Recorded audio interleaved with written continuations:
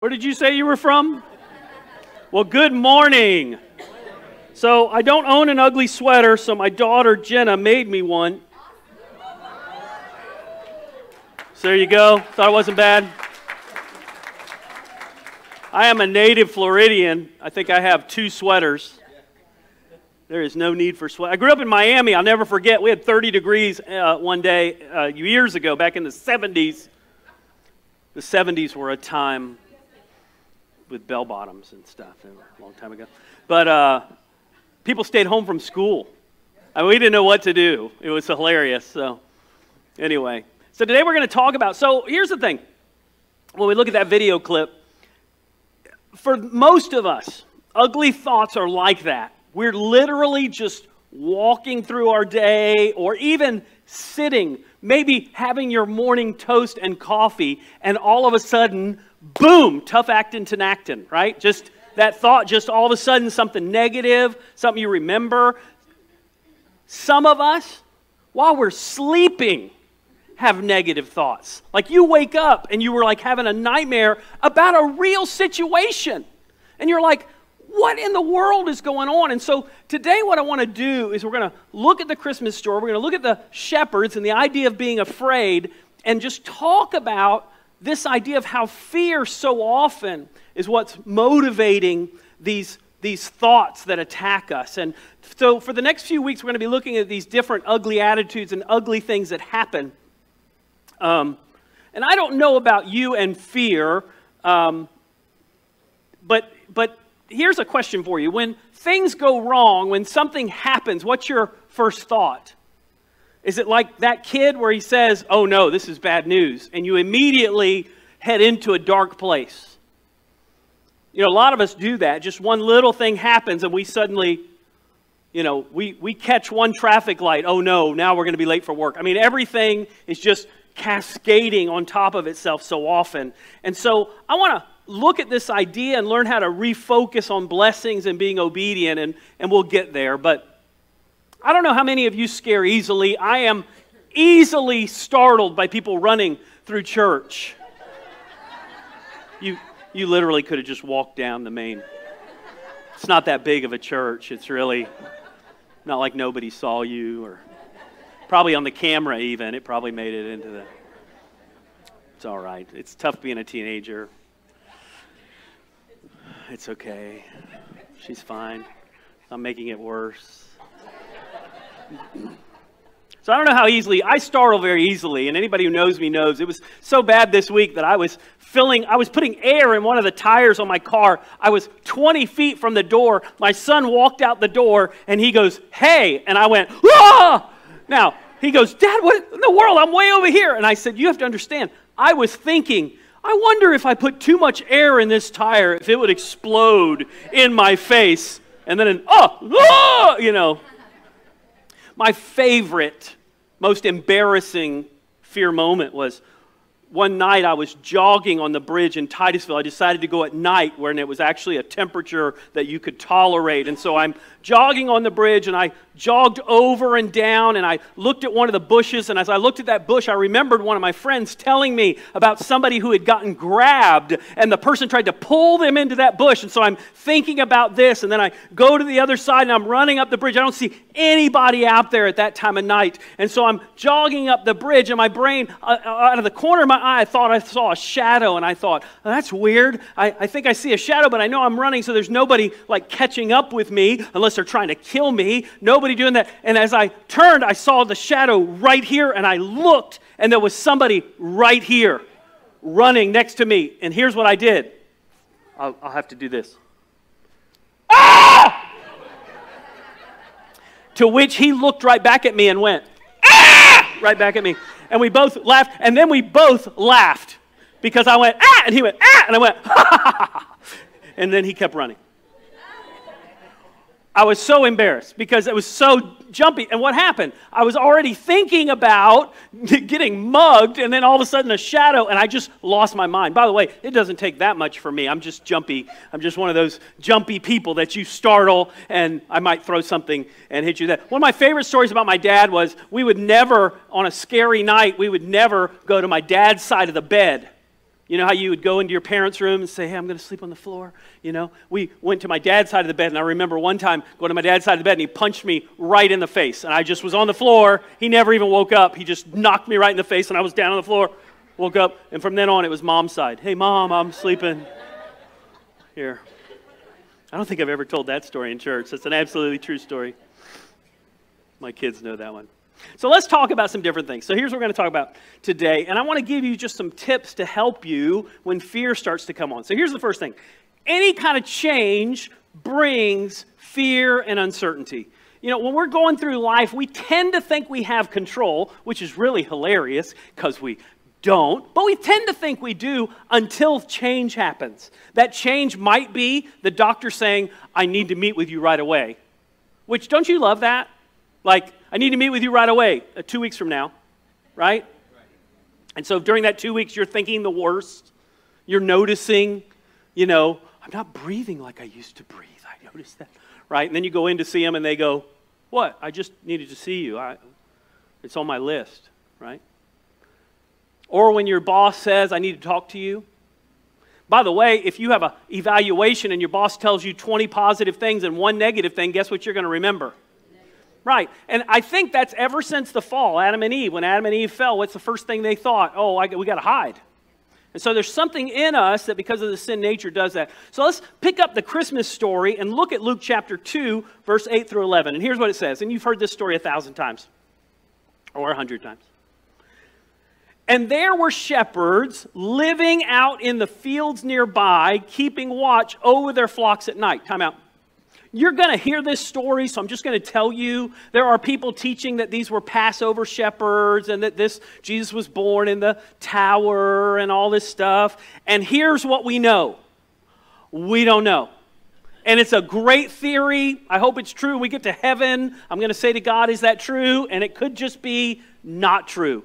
Your faith is not based on things we're uncertain of. So don't, don't worry about that. It's a wonderful thing to talk about. Oh, Jesus was born in that watchtower, and that's how it worked. And uh, okay. But it doesn't tell us there. And so it's okay to go, maybe. By the way, be okay with going, maybe. When somebody wants to get in a fight with you about some little trivial little thing, feel free going, that sounds good. I'm good with that. Did you know there was metal in your thing? No, I had no idea. Sounds good. Did you know you shouldn't do that? Probably. Have you seen how I eat? There's a lot of things I shouldn't do. All right, so there were shepherds in the field nearby, keeping watch over their flocks at night. Now listen to this. An angel of the Lord appeared to them, and the glory of the Lord shone around them, and they were terrified. Angels do not have fade in, apparently. Just boom. Right? And then it continues. And by the way, even if they did, haven't you ever had somebody walk up behind you and go, hey? I mean, if you really want to freak me out, walk into the kitchen when I'm making a peanut butter and jelly in the middle of the night and trying not to get caught. Oh, did I say that last part out loud? And say, hey. Because I'll go, ah, and throw the knife at you, probably. All right. All right. So they, they appeared. By the way, has anybody in here ever gotten freaked out like by suddenly? Okay, just making sure I'm not crazy. All right, I am, but but the angel said to them, "Do not be afraid." To which I would respond, "Easy for you to say." But here's the truth about those words, "Do not be afraid." They're in the Bible over 300 times. There are people who say it's 365 times, and then there's people who love to argue with them about the 365 times. And here's what I say okay, but it's only 362. It's still a lot. It's over 300 times. Do you think God's trying to give us a hint? I mean, that's worse than telling a teenager to clean their room. 300 times, don't fear, don't be afraid, don't fear, don't be afraid. You think we should get it maybe? And then he continues, don't be afraid. Why? I bring you good news that will cause great joy for all the people. By the way, when you see an angel show up, you're not thinking good news, right? When you see an angel show up, you're thinking Balaam and the donkey. And the, and the angel says to Balaam, I was going to uh, kill you and leave your donkey. Basically, I like your donkey better than I like you, which is scary to really think about that whole idea. But anyway, the angel said to him, Do not be afraid. I bring you good news that'll cause great joy to all the people. today in the town of David. Now, this is fulfilling an Old Testament prophecy. By the way, Luke was amazing about telling Old Testament prophecies. That's one of the reasons I think that if this had been the Passover shepherds, that he would have made a big deal about that. If this had been Passover lamb shepherds, if this had been the tower, that he would have made a big deal about that. He doesn't. He makes a big deal about where, because Isaiah predicted way back the where. And then he continues A Savior has been born to you. He is the Messiah, the Lord. When change happens in our life, when there's a suddenly in our life, listen, when God brings a suddenly, it's wonderful. But there's times in life there's suddenlies we don't like. There, there's times in life we get that phone call in the middle of the night. There's times in life we get that news that we didn't want to hear. We get that situation we didn't want to deal with. It's a suddenly, we thought everything was going well, and then suddenly. And so the angels are there, and then suddenly, and what kind of news is this going to be? And they, he says, Don't be afraid, it's good news. But the truth is, no matter what, the Bible reminds us not to be afraid. That's why I love that last song. He's faithful, He's with us no matter what's happening in our life, no matter whether we're dealing with something good, good news, bad news, anything in between. He is with us. Listen to what Paul says in Philippians chapter 4. Now, let me give you a little, little context, uh, uh, a little content here. Uh, Paul is sitting on a beach in luxury and just hanging out. He's got a, a, a, martini in his hand. He's just taking it easy on the beach and saying, just rejoice in God because everything's easy. Oh, wait, sorry, that's the wrong version. Paul is sitting in jail in a Roman prison. Most likely, he's chained to at least one soldier, if not two soldiers, and he's chained there, and he's writing a letter to the early church. And here's what he says to the early church Rejoice in the Lord when everything's easy. No, he says, rejoice in the Lord always. And then I love this. By the way, you got to realize ink was not easy to come by. We just write with a pen. We think words, it doesn't matter how many words we write, or we type them on our computer and we just write as many as we want. You have to realize back then, every letter that you wrote was work. And he says, Rejoice in the Lord always. And I will say it again, rejoice. He's reminding us this is important. Rejoice. Redo your joy. Get back to joy. Let your gentleness be evident to all. Is prison a gentle place? Tom, you work in prison. Is it a gentle place? Not a whole lot of gentleness going on in prison, but yet Paul says, Let your gentleness be evident to all. And then he says this The Lord is near. You ever feel like God's not near? He's still near, even when you don't feel it. Do not be anxious about anything. And this word for anxious means to be distracted. How many of you are easily distracted? If you didn't raise your hand, you just didn't hear me because you were distracted, okay? I get it. I get it. I, am there with you, okay? Do not be anxious about anything. What is anxiety? Anxiety is you're seeing this, but you're thinking about this fear, this thing that may go wrong, this thing that may happen, this concern that's happening in your life, this difficulty, this frustration, this aggravation, this irritation. And sometimes, by the way, that has a name, right? You know that person. As I'm talking about irritation, you're like, yeah, were you at my house on Thanksgiving? You should have been there. By the way, good answer for a lot of things on Thanksgiving is maybe. Just so you know, when somebody wants to get an argument, okay. I don't know. In every situation, by prayer and petition with thanksgiving, present your request to God. Now, I, I got a list of the top 2021 fears. I'm not sure this list is accurate because I kind of laughed when I read it, but here's what they say the top world fears are, and then I'm going to talk about personal fears. Here they were last year. Number one, loved ones dying. And some of you are like, but I can think of a. No, we're not going to do that. All right. Number two, loved ones becoming seriously ill. Number three, this has probably moved up, mass shootings. Number four, not having enough money for retirement. Number five, terrorism. Number six, I just assume government corruption. I'm like, I don't worry about that. I just know it's true. That's just a, how is that a fear? That's just what it is. Government corruption. Yes. It's not, a, not an answer. Okay.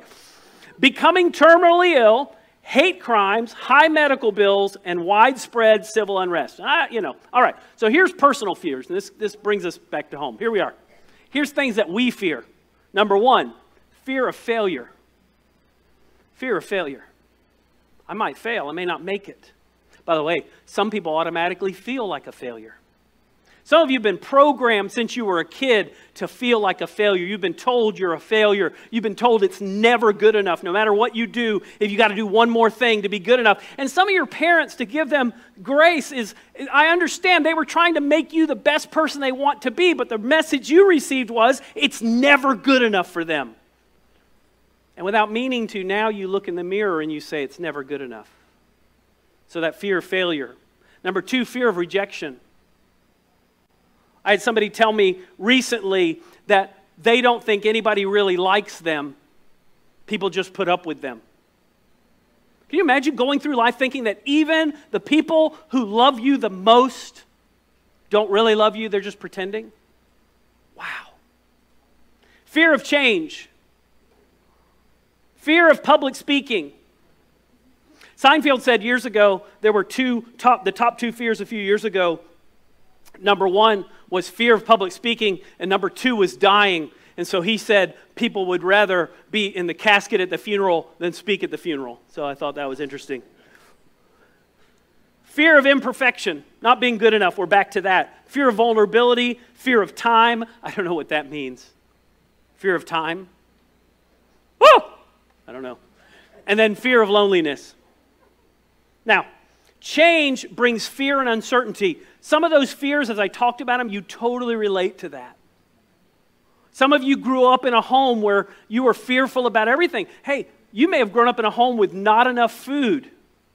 And so now you have irrational fears about collecting stuff. Some of you are like, I don't know why I'm a hoarder. Well, think about when you were young, when you didn't have enough. And so now you're collecting things you don't need. By the way, a lot of us do that just because. Bad habit, right? Don't come to my garage. Do not come to my garage. But I might need that tool. Right, Don? Don totally relates to that. Number two, we can focus on the blessing. Now, here's the deal. When the angel shows up, I, when I get to heaven, I want to see this scene because here's what I wonder. Do you realize that when something scary happens, you ever watch a scary movie when it's like end of the world and something scary happens and a whole group of people is there and some of the people stay there and some of the people run away. And typically I'm rooting for the people running away. You might survive. You ran away from the aliens that are attacking the right? And so I wonder if the shepherds were there. We don't know from this passage if some of the shepherds were like, "See ya." But here's what I do know we do that sometimes. When hard things happen and difficulties come and God's trying to teach us a lesson, we ignore the lesson and we hear what we want to hear. Listen to this next passage. Here it says, This will be a sign to you, the angel said. You will find a baby wrapped in cloths and lying in a manger. Suddenly, a great company of the heavenly host appeared with the angel. Here's that suddenly again, praising God and saying, Glory to God in the highest heaven, and on earth, peace to those on whom his favor rests. Now, here's what I know about fear in our lives your fear is trying to teach you something. God can use your fear to teach you something about you. And if you simply do what so many of us do, if you look for an out, if you run away, if you seek pleasure instead, if you just look for distraction through entertainment, and you don't take time to listen to the message, you won't learn the lesson. And you'll just continue to walk in that fear over and over again. Let me give you an example. Very simple example, a little bit of an embarrassing story. I had a friend that asked me to work out, and I started working out with him every day. I think we'd meet about 5:15 every morning. And so for over a year, we met every morning. And then one morning we were working out, and one of his other friends walked in, and he literally just walked off with his friend and started working out with him. And my brain instantly said these words Well, I'm not working out here anymore. I guess I'm leaving and never coming back. I mean, this started processing in my brain. I'm like, that is the weirdest thing. Why would I instantly think, oh, because I feel like he's rejecting me? It was the weirdest feeling in the world. I was like, what is that about? And so when I went to leave, I even thought, don't say bye. Like that's some kind of weird. So, of course, I went out of my way. I went, see you later, dude. See you tomorrow. So the next morning, go to the gym. Exact same thing happens. My brain does the exact same thing. Why are you even working out here? It's obvious he doesn't want you here. Weird. I'm like, what is that about? What happened? The fear, right? So I had to figure out well, what's going on? Why is this happening again? So after this happened a few times, all of a sudden my friend came back and brought the other guy over. What I realized he was doing is he was trying to get the other guy to start working out and then bring him into our group. He didn't tell me any of that, but he just shouldn't have needed to. My brain instantly went to worst case scenario, fear scenario. And what did I have to do? I had to fight through that and go, why is that such a big deal to you? Why did that one thing make you feel so hurt? But I had to stay there. Now, I could have run off. I could have never gone back to the gym. I could have never talked to that person again, right? Those are easy things. Have you ever done that? You ever had somebody you feel like they're going to reject you, so you just reject them? But you have to stay in it. Why? So you can build deeper friendships. So you can build deeper relationships with people. By the way, if you're going to be part of a church, can I tell you something that's going to happen here? This is a shocker. No one is perfect. Even, write this down, even the pastor. And so there's going to come a day as you get to know me you ready? You're going to be disappointed one day. You're going to get to know me and going to be, Pastor Eric is such a jerk. What in the world? Uh, what? Yeah. And you got to work through that. Otherwise, you won't have relationships with anyone. If you want a relationship with anyone, you must get through jerk phase. That's on your end and their end. You've got to work through it and recognize they don't have their act together, and it's okay. Sit in there and listen to the message. The shepherds had to stay suddenly and hear what was said, but that's not all they did. Listen to what will happen as you do that Philippians 4 7 and 8. And the peace of God, which transcends all understanding, which means that sometimes in life you don't understand. There's times in life that you will go, I don't know.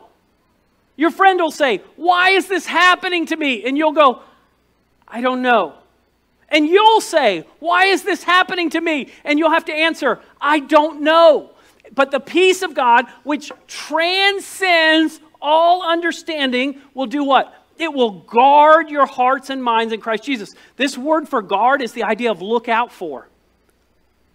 It's the idea that when you begin to understand how you think, when you begin to understand that fear attacks you and a certain way of thinking, when you begin to learn how to deal with it and allow the Holy Spirit, then you're going to notice, oh, there's that thought again. Why, why do I have that kind of thought? Why do I feel like somebody working out with somebody else is a rejection of me? Why, why do I feel like that's never enough? Why do I feel like I always have to have a little more? Why am I never satisfied? Why is it never enough? Why do I feel so empty? And you've got to sit in that question and get that answer, but you've got to walk through the fear and then allow His peace, even when you don't understand, to cover you. And then it continues. Finally, brothers and sisters, whatever is true, whatever is noble, whatever is right, whatever is pure, whatever is lovely, whatever is admirable, if anything is, as Bill and Ted says, excellent or praiseworthy, think about such things. Why? Because we tend to think about everything that can go wrong, and we tend to think selfishly and self centered instead of saying, God, I'm going to focus on what you want me to focus on, and these situations, these circumstances, as I sit here and learn about what you're teaching me, I'm going to have peace as I walk through this. When we walk through the valley of the shadow of death, the Bible says He's with us. I love what Billy Graham says about Christmas. Christmas should be a day when our minds go back to Bethlehem, beyond the noise of our materialistic world, to hear the soft flutter of angels' wings. I know you're probably already looking at presents for whoever. Can I tell you that's not the meaning of Christmas? Do you need to watch The Grinch again? It's not the purpose. It's not the purpose. Number three. So change brings fear. We can focus on blessings. Number three, obedience brings blessings. When the angel left them and had gone into heaven, the shepherds said to one another, Hey, let's go and see this thing which has happened, which the Lord told us about. So they hurried off and found Mary, Joseph, and the baby who was lying in the manger. When they'd seen him, listen, they spread the word concerning what had been told them about this child, and all who heard it were amazed at what the shepherds said to them. Time out. Do you realize that the angels could have gone much quicker and spread the message about Jesus? But that wasn't God's plan. God could have an angel move into your house and tell your neighbor about Jesus, but he doesn't because he has you. But Eric, you don't know what I said to the neighbor last time. Yes, I do. Your neighbor told me. But the truth is, God puts you there, and you're in a spot, whether it's at work or at home, you're there because you can do the same thing the shepherds does, did if you're obedient. And you say, God, just use me like I am. By the way, sometimes your best witness is to tell people, I don't have my act together. They're not used to Christians saying that, by the way. I'm messed up. I got things to work on. So they go and share. And then it says, But Mary treasured up all these things, and I love this, pondered them in her heart. The shepherds returned, glorifying and praising God for all the things they had heard and seen, which is just as they had been told. Philippians 4 9, Paul says this Whatever you've learned or received or heard from me or seen in me, put into practice. That means just keep doing it. And the God of peace will be with you. This week, my niece came over the house and she brought her drum pad. And those of you don't know, I used to teach drum lessons years ago. So she came and she was doing some things, and I was trying to teach her a rhythm. And I, so I was teaching her this early rhythm that you learn how to do in order to learn how to count and learn how to play drums. And she said, Oh, oh, we have to do traditional stick holding. And I went, What? So we have to do. Now, when I first learned how to play drums, we did that. That's where you hold your left hand like this. I have not held a drumstick that way since I was 11. I'm a lot older than 11 now. And so, and so I had to, to show her, I went ahead and held my drumstick. Can I tell you, it was really uncomfortable, and it took me a little while. I'm like, I don't even know that I can play this way. It was like bizarre. And then I realized for all of us, if you've been walking in fear your whole life, and you've been walking in rejection your whole life, and you've been feeling like God's far away your whole life, when you begin to, by faith, walk and listen and be obedient to what God's called you to do, at first it's difficult. It feels really strange. But if you'll continue to be obedient, that friend of mine that I worked out with, we're still good friends. But you have to walk through the difficulty, the awkwardness, the weirdness, the strangeness. And whether you're dealing with something internal, or external, know that He's with you. God wants to walk with you through it. If you're here today and you've never given your life to Jesus Christ, you can do that today. I'll be here after the service. I'd love to talk to you about what it means to surrender your life to Jesus, not just know about Him, but to surrender your life to Him, knowing that He loves you, that He died for you and rose again to pay for your sins. If you're here today and as I talked about something you recognized, an area in your life that you just got to surrender to Him, surrender that today. It's okay. He gives you new starts all the time. Let's close in prayer. Father, thank you for today, your word, your power, your strength, your love for us. Father, I'm so thankful that you use imperfect people when we will sit in fear, when we sometimes will sit and just listen to what you're saying to us, when we'll fight those thoughts and focus on what you're trying to teach us, that, Father, you'll use us. So, Lord, thank you for